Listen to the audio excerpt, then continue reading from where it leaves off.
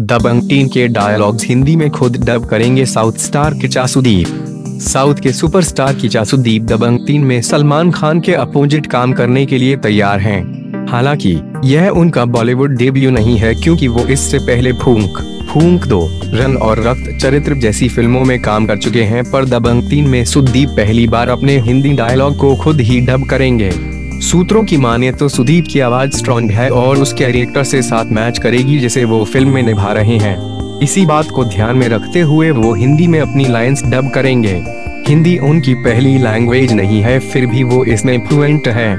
रजो is back गुरुवार को सोनाक्षी सिन्हा ने भी फ़िल्म की शूटिंग ज्वाइन कर ली है। वो इस फ़िल्म में दबंग चुलबुल पांडे की पत्नी रजो के किरदार में होंगी। उन्होंने सेट से यह तस्वीर शेयर करते हुए लिखा है। रजो लौट आई है। दबंग से दबंग टीम तक यह घर लौटने जैसा है। मेरे लिए शूट का पहला दिन है। मुझे गुड लक विश कीजिए। इस फ़िल्म की शूटिंग मप के महेश्वर में चल रही है।